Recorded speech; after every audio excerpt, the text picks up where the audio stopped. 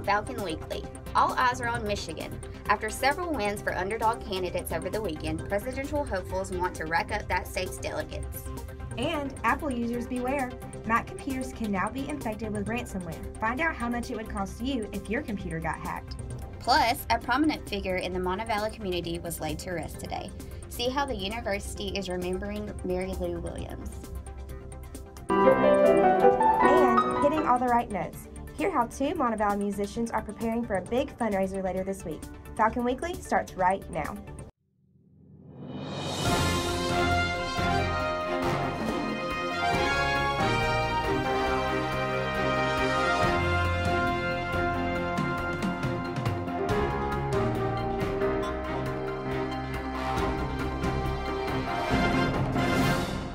Hello, and welcome to Falcon Weekly. I'm Hope Finley. And I'm Corey Graffio. Thanks so much for joining us. We start with breaking news out of the UM Athletics Department. Women's basketball head coach Cindy Hilbrick is announcing her resignation from her position at the University of Montevallo. A source tells Falcon Weekly that she broke the news to the team last Thursday, but her resignation wasn't made public until Monday afternoon. Hilbrick took over the women's basketball program in April 2011 and coached the Falcons to a 38 and 90 record during her five seasons season as head coach. Hilbrick led Montevallo to the Peach Belt Conference tournament during the 2011, 2012, and 2012-2013 seasons. The athletics department says a national Search for a new head women's basketball coach will begin immediately. Switching gears to national news, all of the presidential candidates are looking forward to Tuesday, March 8th, when voters in Mississippi, Michigan, Idaho, and Hawaii get a chance to weigh in. So who will prevail? And can anyone stop Donald Trump? Steve Nannes has the report. So if I'm president, I'll take care of the big stuff.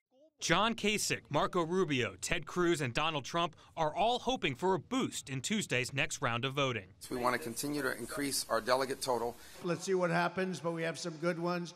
Uh, Michigan's going to be, look, I've been fighting hard for cars. There are 150 GOP delegates at stake in Mississippi, Idaho, Hawaii, and Michigan, with the biggest prize 59 delegates. Trump currently leads with 389, Cruz has 302. Rubio and Kasich are far behind. This is going to be a very different kind of primary where the delegates are going to count. But can any of Trump's challengers catch him tomorrow? The latest Monmouth University poll shows Trump currently has the support of 36% of likely Michigan voters. Cruz comes in second at 23%. But with weekend wins in Kansas and Maine, Cruz is arguing he's the only candidate who can beat Trump and ultimately the Democratic nominee. If we're divided, Donald wins, and if Donald wins, then in all likelihood Hillary wins. And so we have to come together. The Democrats also have contests on Tuesday with 166 delegates at stake in Mississippi and Michigan. all of you going to be out voting tomorrow? Senator Bernie Sanders and Hillary Clinton are crisscrossing Michigan, but today's Monmouth University poll shows Sanders has some ground to make up.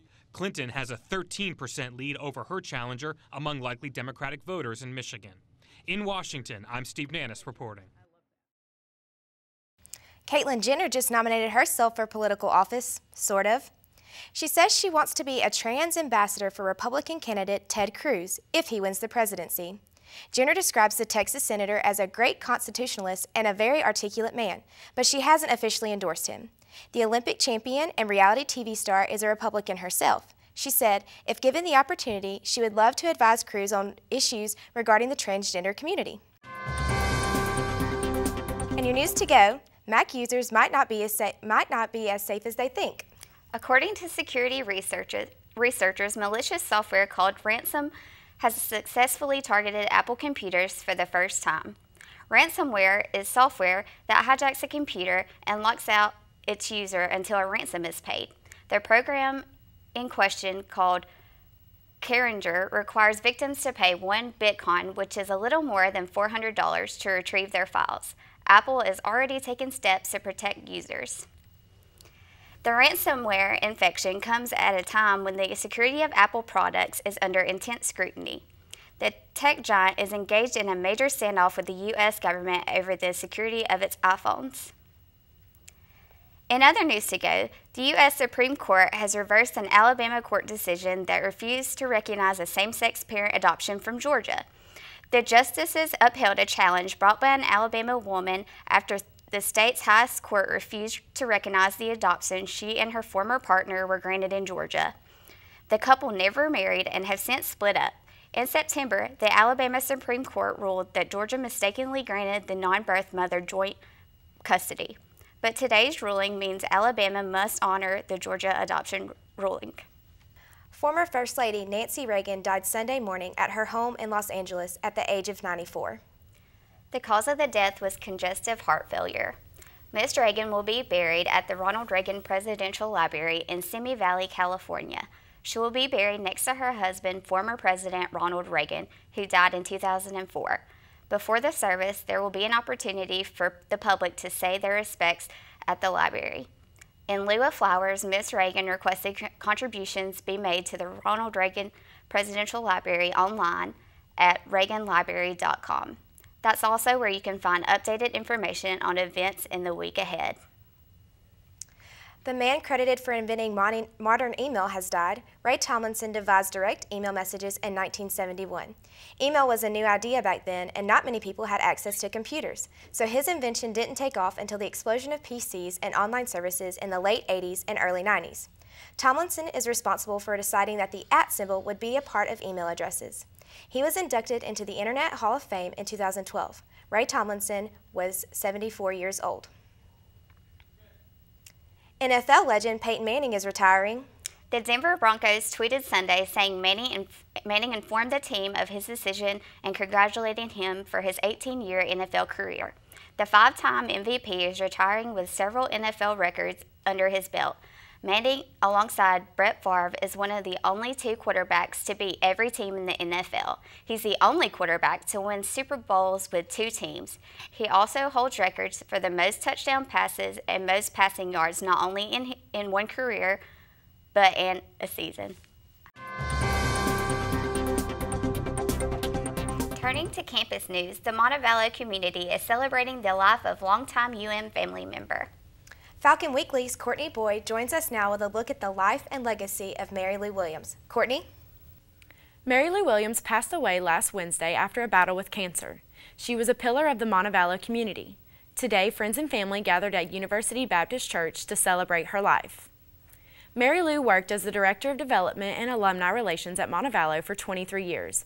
After her retirement from the university in 2008, Mary Lou held the job of the Director of the Montevallo Chamber of Commerce until 2013. Among many awards she received throughout her life, the 2015 College Night Dedication was one of them. Also in 2015, the annual Alumni Recognition Award was renamed to the Mary Lou Williams Alumnus Award. In lieu of flowers, her family requests that memorial gifts be made in Mary Lou's name to the Mary Lou Williams Endowed Scholarship in Arts and Sciences. Gifts can be mailed to the UM Foundation, Station 6215, Montevallo, Alabama, zip code 35115. Reporting for Falcon Weekly, I'm Courtney Boyd. Thanks, Courtney. UM's music department is prepping for a big fundraiser to help maintain their uh, pianos. Falcon Weekly's Ann Leah Nance gives us more details on the story.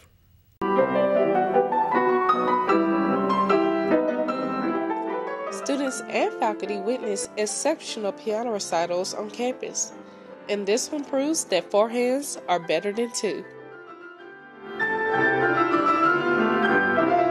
Since last summer, Dr. Cynthia McCrae and Dr. Anthony Patton rehearsed together to prepare for the upcoming piano duo concert that will take place in LeBaron Recital Hall. Recital is a fundraiser for the Patton Piano Endowment, a fund that will pay for the maintenance of the Steinway pianos in the music department. Dr. McCrae believes that the fund will prove to be beneficial to many. Money, of course, that's generated by this event is going to help with all the piano students, piano majors, for all the pianos that we use in teaching and the students for practicing and all. As of now, the department raised $8,000. They are anticipating that this year's concert will show a positive outcome. Even though it's on a Friday evening, we're still hope, hopeful that, that people will want to come and hear this music and will also want to come and support the cause for which we're playing. And with help from the Alabama Piano Gallery, there will be a big change for the recital. For practice purposes, they used two pianos, one smaller than the other one. On the day of the event, they will receive a 9-foot concert piano that will match the size of the larger one. Reporting for Falcon Weekly, I'm Anlin Nance. If you're interested in purchasing tickets for the event, visit montavallatickets.universitytickets.com. Rem remember, there's more news online 24-7. Just search for UM Falcon Weekly on Facebook and Twitter to see more stories and news updates throughout the week.